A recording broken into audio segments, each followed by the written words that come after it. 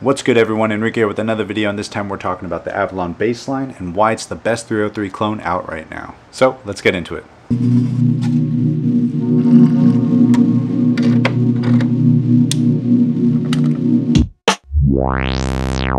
Alright, so the Avalon bassline, this thing is a beast. It's like I said before, it's probably the best 303 clone that you can buy. Alright, now taking a look at the back of the beast, starting from left to right, you got your power input, your power button, your main output, which is a monophonic output, your headphone output, and then you got a combination of 10 CV inputs and outputs. They range from CV input, gate input, CV output, gate output, sweep output, the filter CV input, VCA output, external input, the square wave of the oscillator out, as well as the sawtooth oscillator out. Below that, you got your cartridge slot where you would put in your alternate filters. The cool thing about the alternate filters is they actually come in a legitimate Game Boy game cartridge and you just plug them in and you're good to go. You don't have to like turn on the power off or turn it back on. You can even unplug it in the middle of it. Everything will be completely fine. For example, this is the SEM filter, the state variable one, and it even has a control on the back to change from a high pass to a low pass filter. It's kind of based on the Oberheim style filters. Moving on from there, you got your frequency response button, which is basically making it bassier, not as bassy. It's almost like a, um, kind of like a high pass filter. Then you got your USB, your filter B, which is for said cartridge slot, MIDI in, MIDI out, sub oscillator button, as well as a DIN sync in and a DIN sync out. Um, real quick, let's get this overview out of the way. I'm gonna just hit the run button. What this does is it activates the sequence. You can see the white LED right there going across and I'm just going to press step 1, step 5, step 9, and 13. Go ahead and turn this down a little bit, the tempo wise. So now that those are really bright, you can still see the dim one going across, showing you basically the playhead in your 16 step sequence. I'm going to add another one here. And when I add this one, I can even change what pitch it is.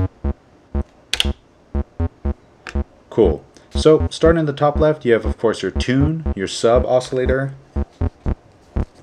which sounds insane right now. I'm going to hold down pitch and turn it up an octave. Turning the sub down. You can select between your main oscillator wave shape. So right now we're on square. I can go up to off or I can go to sawtooth. The next thing, with the sub on, if I turn the main off, you can switch between a square, triangle, or sawtooth as well for the sub. Another cool feature is if you hit this button in the back, it makes the sub uh, two ranges lower or two octaves below versus just the single octave below. Turning the sub down, putting our main back to a square wave. After that we have our filter section. Of course you got your cutoff and resonance 303 style. And tracking which is really cool. What the tracking does, basically higher notes um, in pitch will have the filter opened up a little more and lower notes will have the filter closed a little more. So opening the filter all the way back up.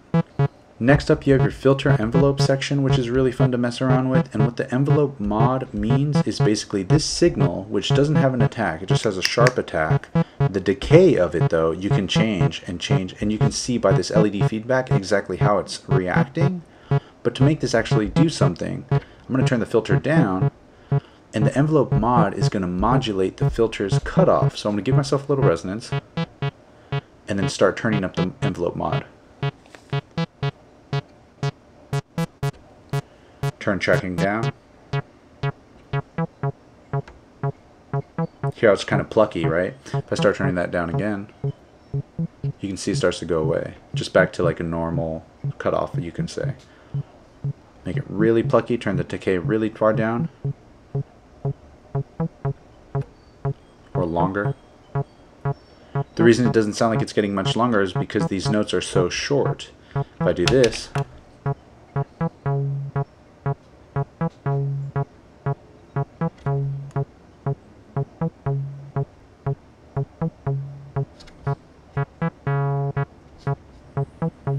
Go ahead and turn this one shorter again. After that you have your accent decay as well as your accent. These of course don't do anything unless you've applied the accent parameter to one of the steps, for example step 15. If I hold down that step and hit accent, this is now being triggered. And you can see that the mod envelope doesn't get triggered there. So these kind of share the same um, trigger source, I guess you could say. So they almost choke each other. Turning up the decay and then turning up the accent basically makes it a little louder, like a harder hit.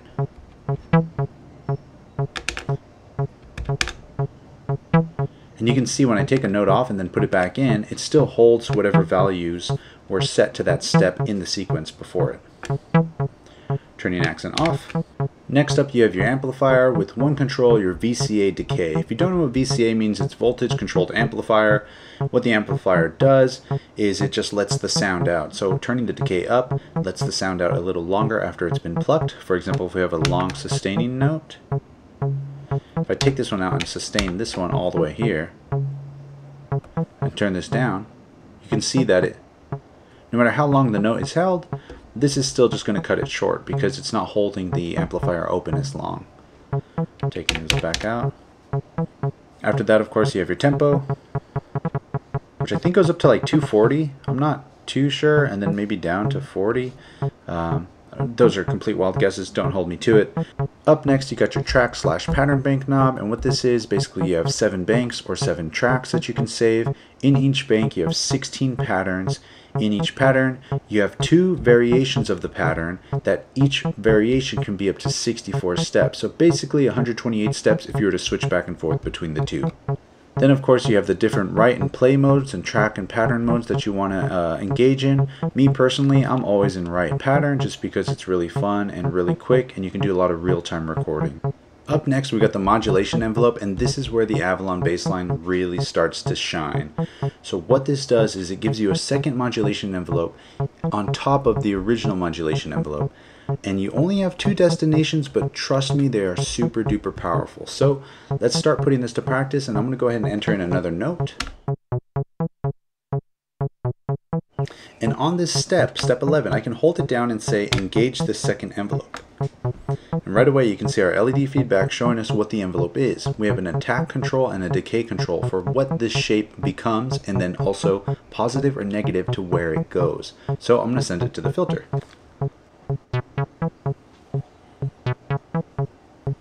Turning down the envelope mod. Turning this up even higher.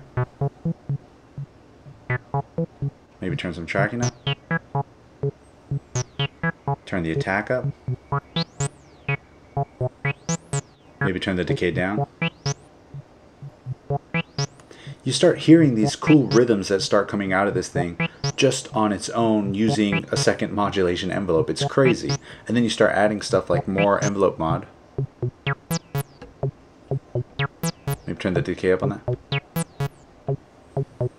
Turn tracking down.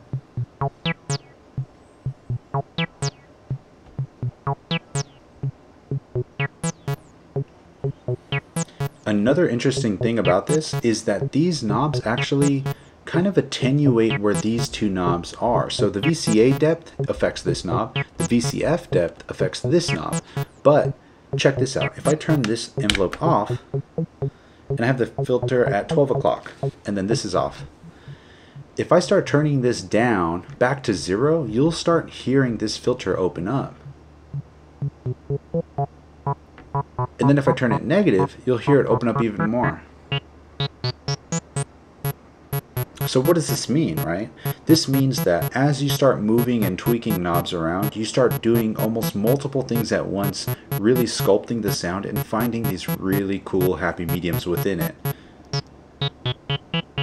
So I'm to add a couple more notes.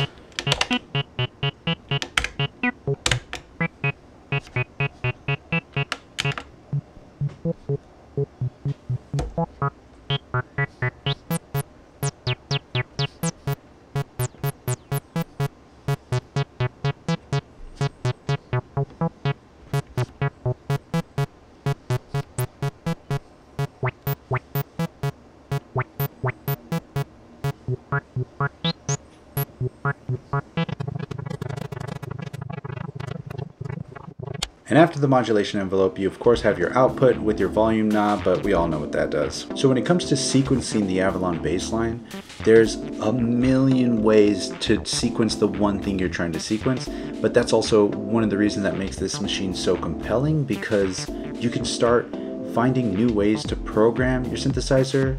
Um, try using math, try using luck and just guessing. There's so many happy accidents that happen within this thing. And because it's a 303 clone, the original 303, the reason it was so good is because it kept you in that sweet spot. You can go so crazy with it, but it was really hard to get to a point where it, one, didn't sound usable, two, you didn't hear anything, and three, it just wasn't shredding. So with that, this allows you to kind of start moving things around so much and turning every knob as far as possible, but it always sounds so good. Same with the sequencing. So I'm gonna go ahead and clear the sequence out, right? So like I said earlier, you can have up to 64 steps when it comes to sequencing inside a pattern, as well as two variations to that pattern. But to keep things simple, I'm gonna keep it to 16 steps or less, and I'm gonna show you guys how to do the real-time recording. So first up, I'm gonna go ahead and hit run, and you'll see the sequencer starts going and then I'm going to hit record and you'll see that the home button starts flashing. So without starting, now anytime I press any of these notes, it'll start entering them into the sequence. So let's go ahead and just kind of slap this thing. You can see that this created a slide because I overlap notes by holding it down. I'm going to hit home. It's a little high up an octave. I can just hold down pitch and hit down. And it'll, it'll transpose the entire uh, sequence down an octave. Another cool feature about the Avalon bassline is that it has this rotate function. So I don't know about you guys, but to me, I hear the 1 on 10. 1, 2, 3, 4, 1, 2, right? So I can just hold down function and rotate 10, 1, 2, 3, 4, 5, 6, 7 spots to get it onto the 1. So, so now if I hit run, it starts off with that little slide part. And once we're here, we can then start adding things or taking away things. So if I hold down step 1, you'll see that there's a slide applied to it. Maybe I don't want that. 2 has a slide, but that's kind of cool.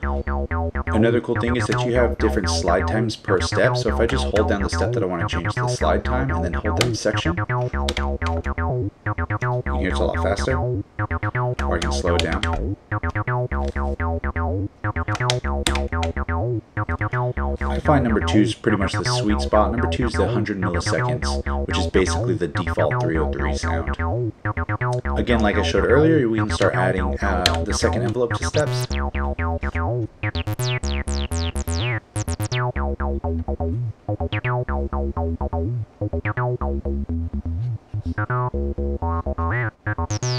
The tracking is so powerful on this.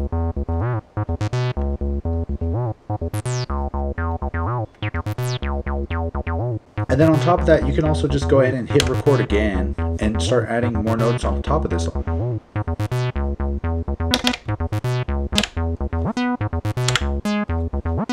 Bam, instantly quantizes it to the grid and you're good to go. Another cool feature about this is even though that it's perfectly quantized to the 16th step grid, you can do things like divide the clock time,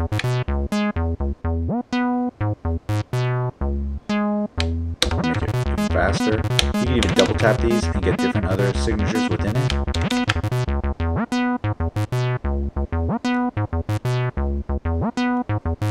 That one's cool. Go back to the normal one. And with this, even though it's quantized perfectly to the 16-step grid, if I hold down time and instead of selecting a new um, clock division, I can go and select 1 through 6 or 1 through 8 depending on which division you have set, and this is your swing amount. That is super swung. Let's try 4. Yeah, now we're talking. Start bringing in some of this sub.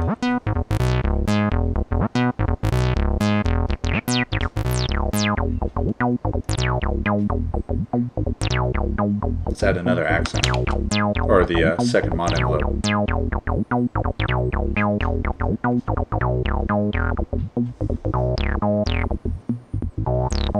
You can see as I turn this up, the filter starts turning down. Get these crazy rhythms.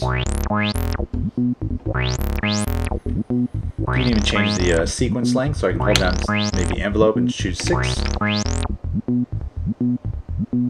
Maybe 12.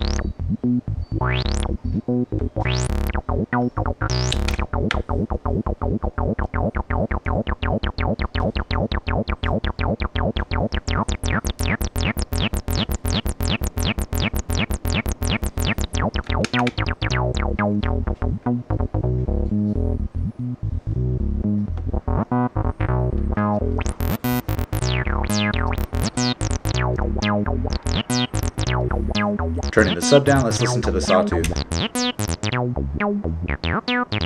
That's really nice. Actually, let's do this. We'll turn the main oscillator off, turn the sub up, and then turn the volume up. Now we're just an octave lower instead of having to transpose our uh, whole pattern down. Listen to that sub. Turn the resonance off.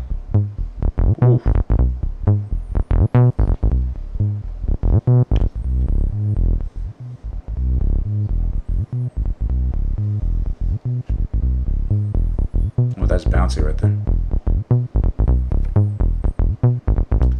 God damn.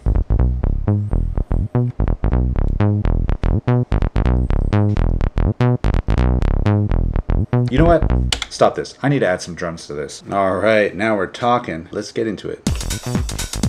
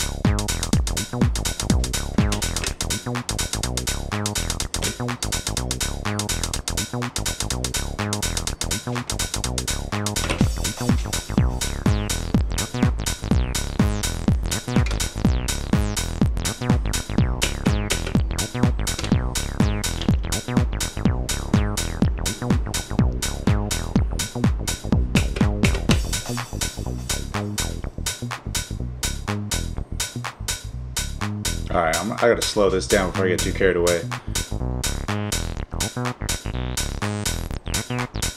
All right, just one more time.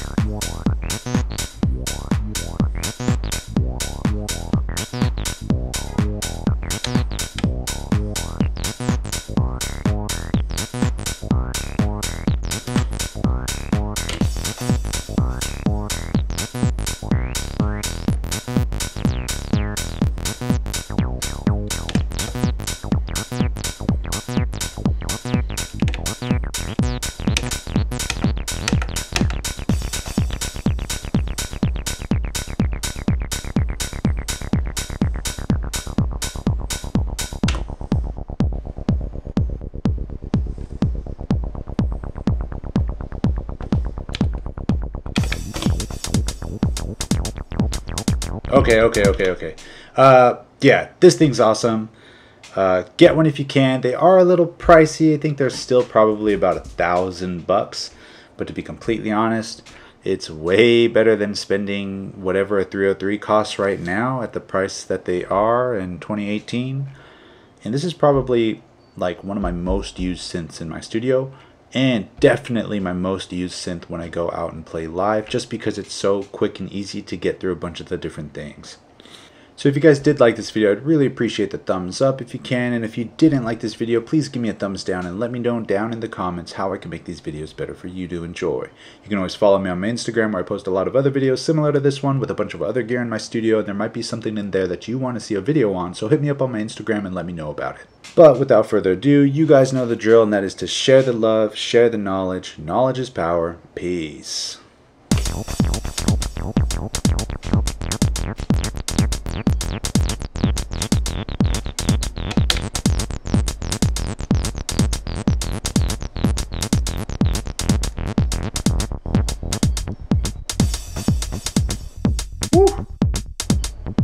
Yes.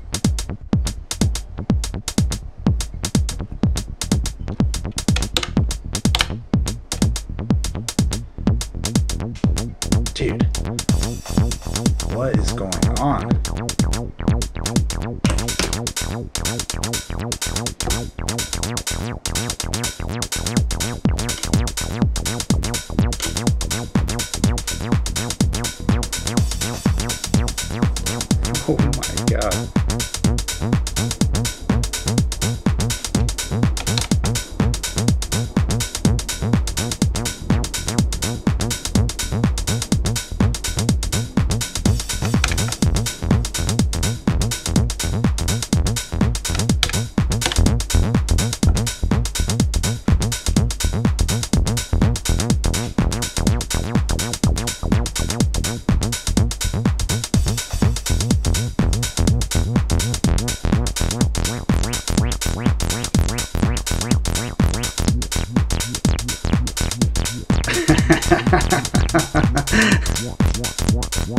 is crazy.